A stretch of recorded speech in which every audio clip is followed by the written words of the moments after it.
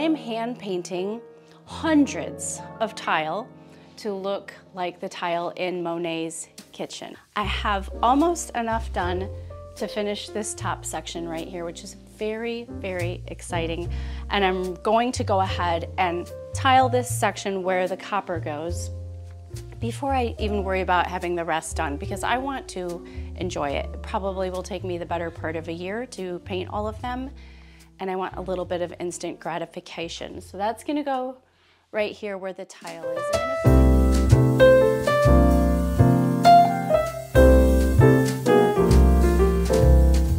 Hello lovelies, I'm Angela. This is Parisienne Farmgirl. Lots of questions about my tiles, so let's dive in. This is my graph paper book. I got it in Paris. I use it for everything, for flooring. Here's the Versailles flooring we hope to do on our bedroom later this year. A few weeks ago, you saw me use this paper to map out our gym.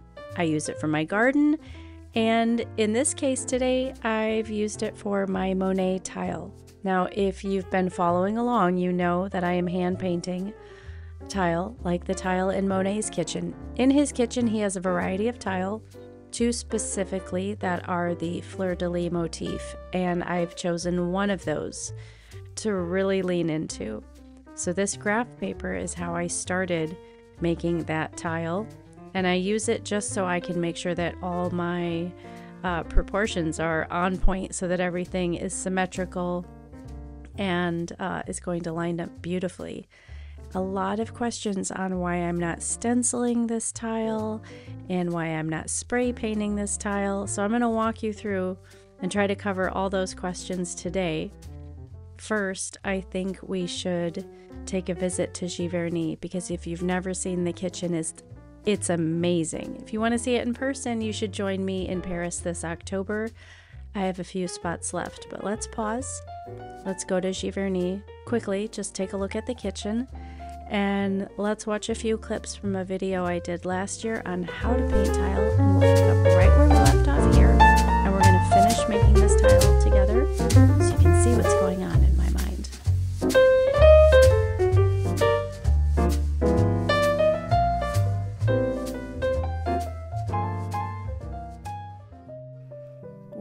Monet found this serene location, he said, I am in raptures. The countryside of Giverny is glorious for me. And as an artist and gardener, I felt the same. The town of Giverny is small and it's full of ateliers and other artists and little restaurants, and it's just quaint and charming. You feel like you've been transported back in time. And I don't know who gets to live in this wonderful space, but my goodness, I was moved to tears to be in this space. Monet's love for color and vibrancy, Japanese art and tile, it speaks to me. And I was not surprised to be as impressed with the interior of the home as I was with his gardens. The day I'm sharing.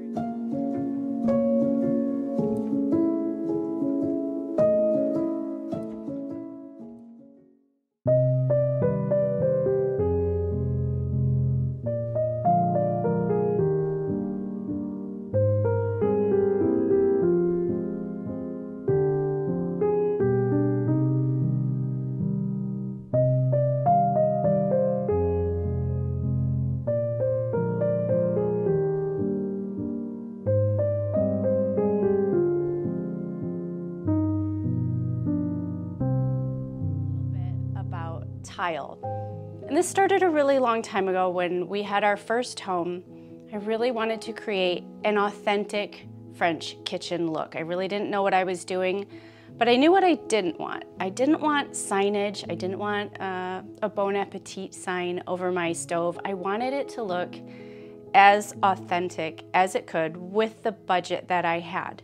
And in observing a lot of French magazines and French coffee table design books, I noticed that I kept seeing this tile repeated over and over again. Now, I, I didn't know what it was. I didn't know anything about Delft tile or the whole world and history of tile. But as a young bride, I knew that I kept seeing this blue and white tile everywhere, and I, I had to have it. I didn't know how I was gonna find it. I didn't know where to source it, but I knew I had to have it in my kitchen. And then one day I stumbled upon a garage sale and I found this fabric. It was 25 cents and I was ecstatic because as you can see, it's that tile. And in the middle of each tile is a piece of fruit or a chicken or a butterfly. And in the center of that tile, on each corner rather, is this motif that I kept seeing over and over again. Now, years later, I know that that motif is a fleur-de-lis, or sometimes it's an oak leaf, but it's this piece of fabric that really launched my first kitchen into what I was thinking at the time was a true French kitchen. I painted the walls a very bright Provençal yellow. I took watercolor paint and really diluted it and painted a garland of olives around the ceiling. And then I set out to hand paint my own tile. I only had two children at the time and I spent all winter painting this tile. That first kitchen is very sentimental for me and it was quite an accomplishment. I painted these four by four tiles just like this and did the little motif in the corner. And then what I did is I had, this towel has seen better days. This is about 20 years old, but this is an old towel from Anthropologie. And these were my curtains back in the day. And I did this chinoiserie scene over the range. And I was so proud of it. It was so beautiful. Today in our kitchen, I have Delft wallpaper and I'm just waiting till I have a perfect pocket of time where I can paint all my own tile and then I'm going to tile the entire room a la Monet's kitchen. But I have a few more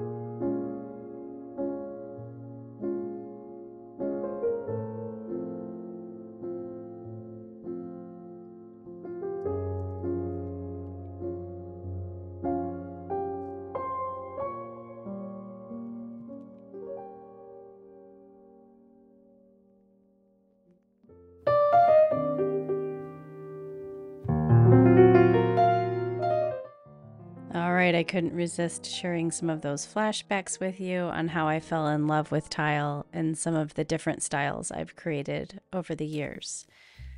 So I've used my graph paper and now I've got my stencil paper and I am creating a stencil. I know a lot of you have asked me, why don't you just stencil this tile? Wouldn't it go faster? Yes, it would, but I'm using glass paint on uh, just basic 4 by 4 inch Home Depot tiles. And so the glass paint really isn't conducive. The viscosity, it's not really good for stenciling. So I've made the stencil so that I can lightly pencil trace the pattern onto the tile. And that helps me just keep everything uh, uniform. If I was totally doing it freehand, it might be a bit of a mess. It's hard enough as it is. So I've just created the stencil so that I can trace the pencil. Uh, you'll see in a few minutes some blue on my stencil, and that's because originally I was trying to use a paint pen, but it's much better now that I've done so many tile. I've figured out that it's much better for me to just lightly pencil the pattern and then I go in with the glass paint pen and mark everything. And then I go in by hand with the actual paint and paint it on top of the paint pen markings. That way I can get that hand painted look and it's a couple layers of paint and everything is right where it needs to be. So it's a win win win you can see every tile takes quite a long time. Now I'm going to put all the links for these products in this video description. So yes, I fill in all of the pencil markings and then go over them with paint. And I let that paint dry for about three days. And then uh, many of you have asked, do I fire this tile? And yes, with this glass paint, you fire it, quote, fire, unquote, it in your oven. And the directions are right on the bottle. And it makes it water resistant. It holds up when you're grouting it, it holds up to cleaning. And it's really, really an incredible thing to be able to paint your own tile and to have an idea and see it come to fruition. So, as I said on Friday, this is probably going to take me the better part of a year. I've got hundreds of tile to paint, and as you can see, they take a long time. But you know, when something has been in your mind, when something's been in your heart for so long, it's worth the effort.